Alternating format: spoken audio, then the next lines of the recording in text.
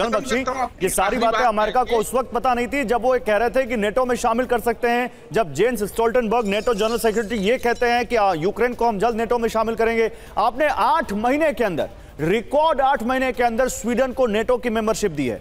और आज आप कह रहे हैं जब यूक्रेन नेटो की मेंबरशिप के लिए डेढ़ साल से लड़ रहा है अपने हज़ारों लोगों को खो दिया लाखों लोग बेघर हो गए हज़ारों करोड़ों का नुकसान हो गया तब आप कह रहे हैं कि अभी मुश्किल है आपको लाना नेटो में? देखिए साहब रूस की पहली शर्त थी कि यूक्रेन को बिल्कुल ही नेटो में नहीं लिया जाएगा। ये पहली शर्त थी रूस की कि अगर ये लिया जाए तो हमारे लिए ये रेड फ्लैग होगा बिल्कुल। और हम बहुत भीषण उसके बाद कार्रवाई करेंगे। तो इसी के चलते अभी तक जो है नेटो और अमेरिका इतनी हिम्मत नहीं जुटा पाए हैं। अभी तक वो यूक्रेन को लड़वा रहे थे।